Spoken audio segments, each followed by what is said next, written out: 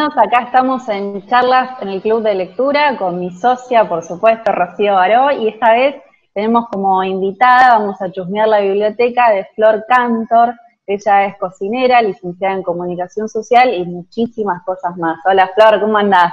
Hola chicas, ¿cómo andan? Bueno, bienvenidas a mi cocina. Hermosa cocina tenés. Contanos qué tenés por ahí. Eh, ¿Los libros están sobre la mesa o sobre la biblioteca con los utensilios de cocina? ¿Cómo están dispuestos? Mira, acá tengo todo, lo, más importante, lo que les voy a mostrar, lo tengo arriba de la mesa y rellené con, utensilios, pero en general conviven, hay utensilios y libros. Están todos juntos en el mismo espacio. Contanos, ¿qué libro estás leyendo ahora, en este momento? En este momento, porque verano y calor y vacaciones, acabo de terminar este. No sé si lo conocen. A ver. Es el único libro, me di cuenta acomodando la mesa, que es el único libro no cocina que leí en los últimos, no sé si meses o años, porque todo lo que leo, como les contaba antes en la charla previa, como Los Sorrentinos, el último que leí era una ficción, pero que contaba de dónde viene el, la pasta sorrentino. Bueno, este no. Son cartas entre personas que todavía creen en las cartas. ¿De qué es? Es de Belén Marchese y Julieta Avis, no sé cómo se dice con H. Es un libro, entiendo yo que son como ficcionalizadas las cartas. Está todo marcado, hermoso, porque me lo, me lo prestaron así. Ah. Es como, no sé, una conversación entre eh, los, vecinos de un edificio, las cuestiones de consorcio, eh, no sé, una, unos, una expareja, unos amantes, todas situaciones que se mandan por mail o por Facebook o lo que sea, pero como en formato carta, formato largo, y tiene así como frases eh, marcadas de las autoras que son geniales y que van como resumiendo las historias que todo tiene que ver no con el amor y con la inmediatez, pero como que hay un poco más de tiempo en las respuestas y, se van armando como historias cortas. Me encantó. Lo acabo de terminar este recién. Esta es la lectura más de verano, si se quiere, pero durante el resto del año también sos de leer sobre más sobre cocina o más ficción, ensayo, otras cosas. La verdad, eh, trato de leer todo, todo, pero pero me, doy cuenta y armando la selección para ustedes que todo tiene algo de cocina, no sé. Leo libros como este, el que siempre vuelvo, miren lo que está todo marcado mal, que es de Michael Pollan, Cocinar. Es como una historia de la, de la cocina y una mirada muy antropológica, además, que hasta tiene una serie en Netflix, pero en cada página hay, hay un aroma, un sabor, un color, algo que, que tiene que ver con cocina. O sea, me cuesta mucho. Por ahí, en la, cuando me voy de viaje, de vacaciones, llevo una novela o no. Por ahí me di cuenta que también me gustan mucho las versiones de películas que vi. Ah. Eh, muy bueno el ejercicio del club porque me hizo pensar que leí, no sé, el de Yo antes de ti, que es como reconocido. Lo leí en el último viaje. O sea, trato, me encanta todo lo que es eh, de amor y así grandes historias, pero me cuesta un montón. Me cuesta. ¿Seguís algún cocinero, chef en particular? Digo, con los libros, ¿te compras todos? Sí, sí. La, verdad es que cada vez eh, me compro menos porque creo que, bueno, por el acceso que nos pasa a todos, ¿no? La digitalización. Pero, por ejemplo, de Feli, de Feli Pizarro, que es así de, mis contemporáneas como mi, mi prefe, tengo los dos. Y no solo que los sigo, sino que es como que me doy cuenta que siempre vuelvo a los libros de Feli. Como hay, algo acá de, la, de la foto, de la, de la imagen, de cómo están contadas las recetas, y además del texto que me gusta y me engancha. O sea, si Félix sacara otro, creo que, no sería lo mismo ver el video o verla en Instagram, lo que sea, que, tener el papel. ¿Los libros de, cocina tienen mucha foto más que texto? ¿O son algunos o es algo del pasado? Mira, en realidad acá tengo separado eh, uno retro, retro, retro, el primero de Petrona, mirá lo que... Ah, es todo texto. Ah, está viejito ese, ya está usado. Este es increíble, eh. una, pieza, una recopilación familiar de mis tías de Bariloche, que me lo reencuadernaron con nueva dedicatoria ah. y nueva tapa. Le consiguieron la tapa y cada día lo, lo más. Este es como el que nunca prestaría, lo que les decía antes.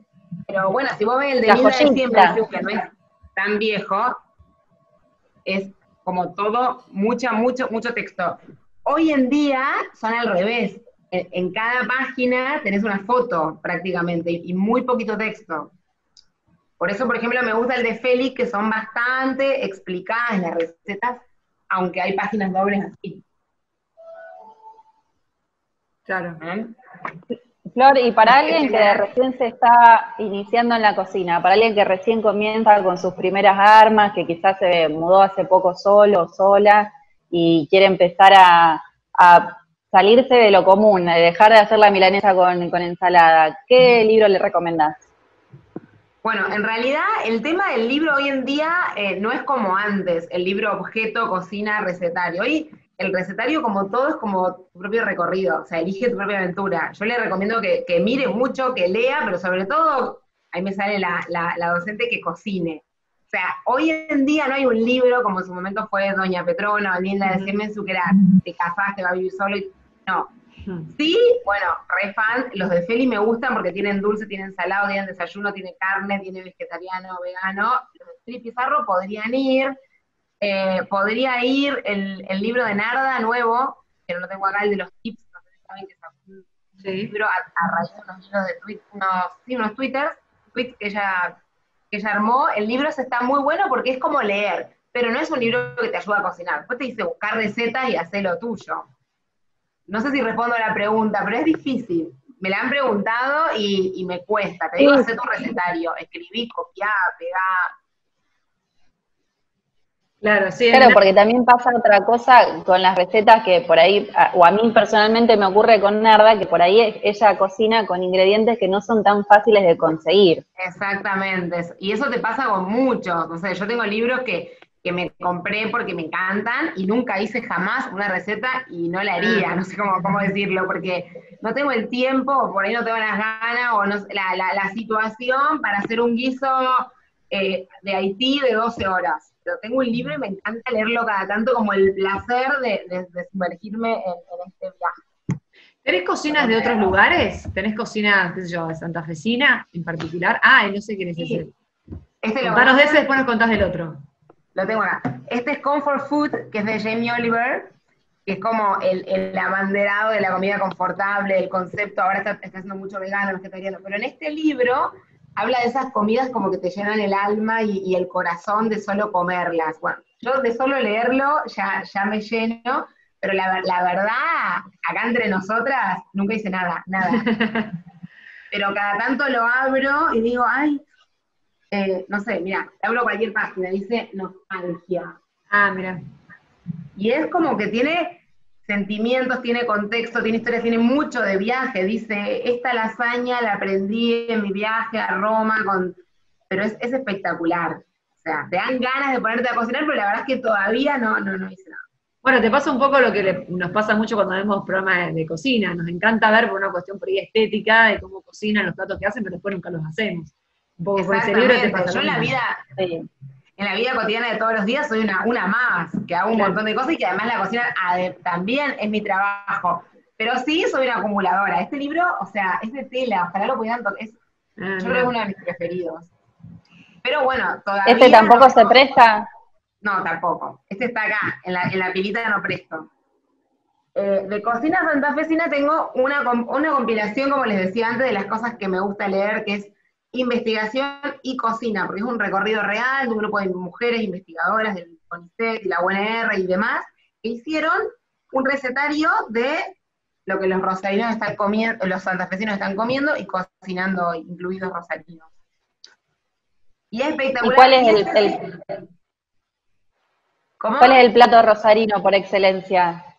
Mira, hay una realidad. en el libro lo que hicieron fue recorrer la provincia y que la gente lleve qué, come y qué cocina. Sin querer como encontrar eh, verdades, digamos. No sé, por ahí hay, recetas de smoothie, que es algo re moderno que no nos identifica, pero que la gente hoy está consumiendo a lo mejor un montón en su vida cotidiana, un jugo verde, un smoothie, lo que sea.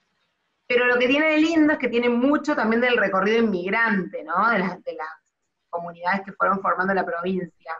Y en eso sí me metí a hacer y a buscar recetas como la torta alemana de esperanza, los niches, que son como estas empanaditas de, papa de la cocina israelí, que nunca lo había hecho y dije, voy a ver cómo lo hicieron acá. Y lo hice me salió tal cual, la forma de lo, de lo, que está, cómo está contado, cómo está redactado, sin tener imagen, como decíamos antes, porque lo tiene, tiene una forma de explicar como que es la, la oralidad puesta en palabras que está muy bueno.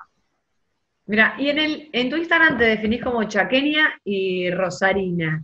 Eh, contanos del Chaco y si tenés comida chaqueña, algo ahí para, para mostrar, un libro.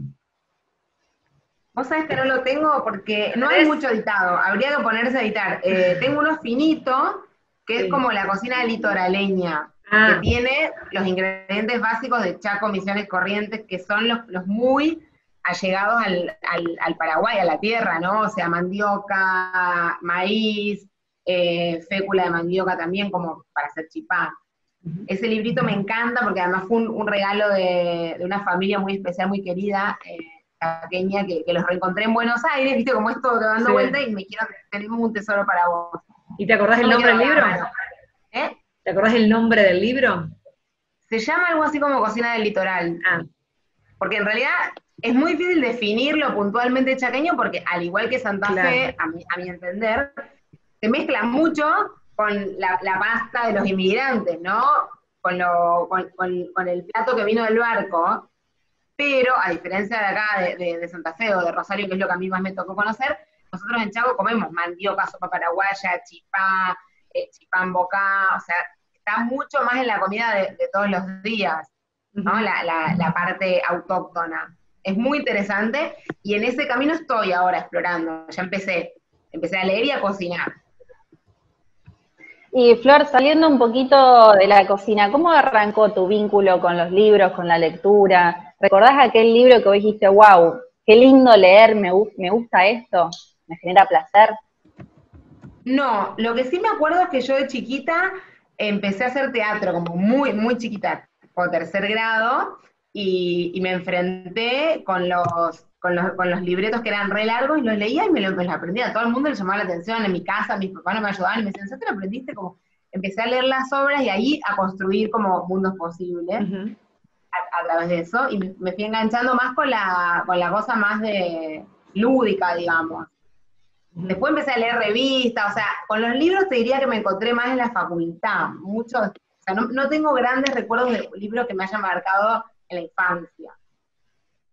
Bien, y vinculado a, otra área, más allá de, digo, sos licenciada en comunicación social, ¿te quedó algo de eso? O no sé, ¿tenías algo que por ahí tiene que ver con divulgación científica o no sé, astrología? tengo estas revistas de semiótica que leo, que bueno, ahora no, no tanto, pero son números que se publican en ese tipo de formato libro. Este se llama comer, beber y hablar, ah, eh, y los leo, me encanta, me encanta, me gusta de, Desertó, que es un autor que leímos mucho en la facultad y cada tanto vuelvo, que sí tienen que ver con la cocina, a mí me, interesa mucho como lo, que es la vida cotidiana, ¿no? Lo que pasa todos los días y por ahí no, le, damos mm. mucha atención. Y para eso me sirve mucho volver a la facultad, a la ficción, eh, a la historia también. Entonces leo como leyendas de, no sé, por qué se creó el dulce de leche, ese tipo de cosas, leo y lo que nada que ver, que no me quiero olvidar que, está ahí es la astrología, por ejemplo, me encanta leer. Por ejemplo, ¿qué tenés? ¿Eh? ¿Qué tenés por ahí? Para mostrar. Ay, no, no me maten que no tengo ninguno, pero los tengo tipo al lado de la cama. Acá tanto leo, leo, eh, no tanto las predicciones, sí las constituciones de cada signo, después leo eh, destino, chopra, meditación, todo eso así como de, autoconocimiento, psicoanálisis, también leo Nacio, que es un autor que es de acá, eh, Rolón, o sea, todo, todo, yo leo, leo eso, como todo lo que es de, vida interior. Bueno, a ver, espera, yo soy de Virgo, Sole, ¿vos de qué sos? De Aries. De Aries, ¿qué nos puedes decir? ¿Tenés algo o no? Rápidamente, para cerrar. Bueno, Virgo ya sabemos que es la estructura, la perfección, el orden. Esto no está saliendo bien, suspendemos la grabación. Sería Virgo, termino. Y, Rosa, me parece que te hablan. Me parece que ¿Eh? sí. Sí, sí, sí. Tengo mucho para decir de Virgo porque yo soy Tauro y tengo afinidad, pero me, encuentro como en eso de oh. que en eso de la perfección, pero bueno, no importa, hay que hacerlo. Y Aries es como, dale, dale, lo hacemos, es como la cabra que va, va, va, aunque muchas veces eh, se da los cuernos contra la pared, no se da todo la cabra, pero va, va. Cabeza dura. Exactamente. Y también tengo afinidad con, eso porque ya te digo, a mí me, interesa para conocerme a mí y también para, para ver mis vínculos con, los demás. Después está el ascendente, la luna, la historia de vida, como dice una amiga con la que también por eso el psicoanálisis y demás, como que vamos complementando, pero, pero es re interesante. Ya, ya la estoy conociendo. ya pienso ya nos está haciendo todo el perfil. Todo, todo. Nos está sacando todo el perfil. Lástima que nos quedará poco tiempo, si no, no, no, no paro. Bueno, sí, nos queda una sola pregunta más. Una sola pregunta, ¿Qué es lo próximo? ¿Qué es lo, lo próximo que querés leer? Bueno, ahora el libro pendiente. Que no sea de cocina. Tengo ahí eh, Doña Flor y sus dos maridos, uno viejo que siempre lo agarro y lo dejo. Me dijeron que tiene recetas. Ah. No sé, no, no, no, avancé lo suficiente, pero quiero leer ficción, que es mi, lectura de todos los veranos. Así que atenta a recomendaciones. Que así sea entonces en este 2021. Sí, sí, sí. Gracias, Flor. Muchísimas gracias por la charla que tuvimos en el día de hoy. Gracias a ustedes, Gracias, un placer y me, encanta ser invitada a algo que no tenga que, cocinar. Ah, esta vez no, esta vez no, pero porque es de manera virtual, bueno, no, te, no te vas a Nosotros también igual esperamos la invitación a la cocina, ¿eh? queremos eh, estar en la cocina en vivo, ahí, con las manos en la masa, como quien dice. al nuevo ciclo de vivo. Sí. Perfecto. Gracias, Flor, gracias por pasar por el de lectura. Muchas gracias. Gracias. Chao, chao. Adiós, muchas gracias a todos.